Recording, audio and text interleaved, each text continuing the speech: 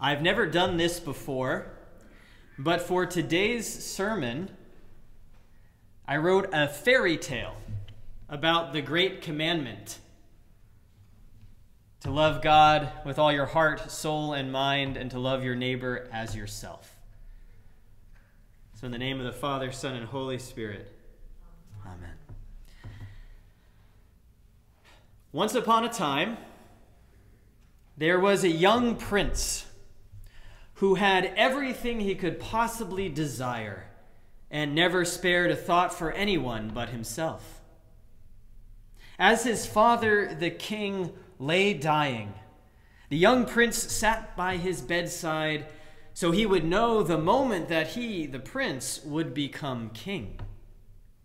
The dying king was a just and loving sovereign, and he lamented that his indulgence had led his son down the lonely path of selfishness. So the king called upon her grace, the archbishop, who had the honor of crowning the new monarch upon the king's death. The king said to her, Take my crown and remove the three jewels that adorn it. Only when my son shall fill those three settings with ornaments of his own shall you crown him king. But that's not fair, the young prince whined. I am king the moment after you draw your final breath. Not so, his father said, his voice hoarse and his breathing labored. Her grace will be regent until you present her with three tokens that show you have learned what it means to love with all your heart and with all your soul and with all your mind. The king died that night, and the prince shed no tears because of the anger he felt over the test his father had set before him. The prince brought item after item to the archbishop, but she rejected each one with a wave of her hand. You are like the bird at the end of the V, who refuses to take a turn at the front, her grace said. Go away, and do not return until you have flown into the wind. She sent the prince from the palace, and for the first time in his life, he had no one to bring him food or draw his bath or tend his horse. The prince turned up his collar against the rain and rode hard away from the palace and the regent and his father's test. The rain continued to fall, and the road became a thin strip of swamp in the midst of farms, pastures, and woodlands. By and by, the road dipped into a narrow valley between two hills. Stuck in the mud at the bottom was a cart piled high with boxes and bags, all tied together with ropes. A man with weathered features and a determined set to his jaw was coaxing a waterlogged donkey to pull, but the cart would not budge. The young prince dismounted and led his horse by the cart intent on riding on once clear of the obstacle. But as he passed by, the man said, I've been here for hours, and you are the only other traveler out on the road in this wet. Please, will you help an old tinker get unstuck? Well, the prince sneered at the tinker. Why would I do that? What could you possibly give me in return for inconveniencing me so? The tinker bowed his head. A young lordling like yourself would find the items in my packs terribly simple. I'm afraid I have nothing to offer. The prince's eyes widened as he looked at the bulging sacks of oddments atop the cart. Despite the tinker's modesty, surely something in them would satisfy the archbishop. On second thought, I will help you, the prince said, if you give me three perfect tokens from your stores. The tinker wiped the rain from his eyes and nodded. A fair price. The prince leapt atop the cart and began passing the sacks to the tinker so the cart would weigh less. He felt the bulges and hard corners through the material, wondering what treasures might be contained therein that would adorn his crown.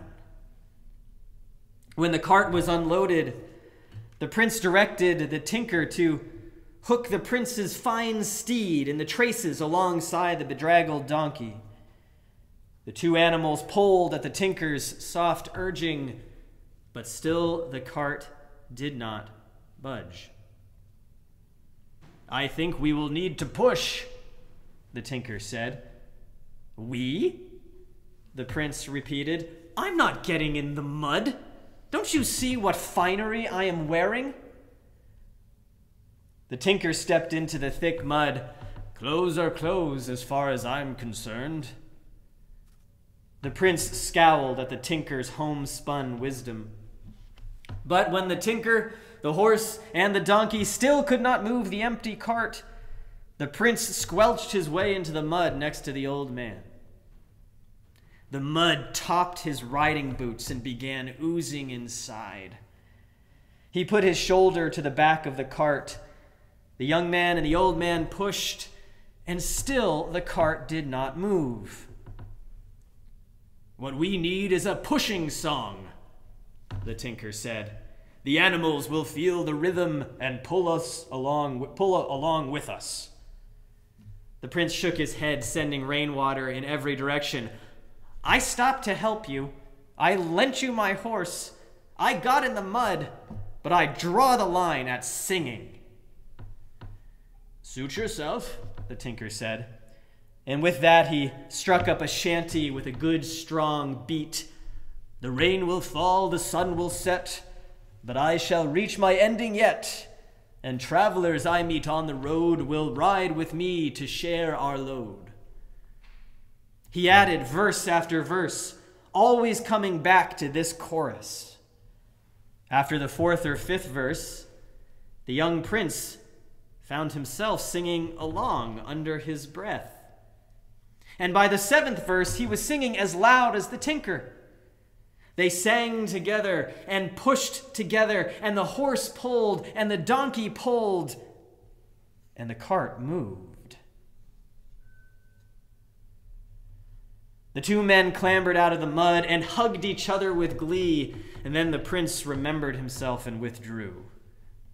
Now, the three items you promised me, he said, what do you have in these packs? Odds and ends, mostly, the tinker said. Anything someone might need. By this time, the rain had stopped, and the young prince began dumping the tinker's packs out on the ground. He searched through each pack and box and found flint and tinder, bits of thread, vials of tonic, mismatched utensils, chipped plates, tallow candles, rough clothing, wooden toys. It's all worthless, the prince bellowed. I can't bring any of this to the archbishop. Worthless to you, perhaps, the tinker said. But to the farmers and laborers I visit on the road, these things make a life. The prince held up a bent spoon and looked at his own distorted reflection in it.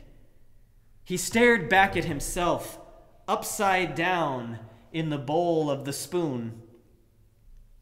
And for the first time in his life, he came to himself. Perhaps I'm the one who is upside down. He held out the spoon to the tinker and said, This is all I desire. This and your friendship. Come, I will ride with you to your destination to make sure you don't get stuck again. Presently, they found a tavern and passed an evening in each other's company. The next morning, the young prince bid the tinker farewell and rode back to the palace. The archbishop smiled as she took in his muddy and disheveled appearance. What have you brought for your crown, little bird? She asked. The prince picked some dried mud from his boot. Loving with all your heart, means getting in the mud with someone else to help them.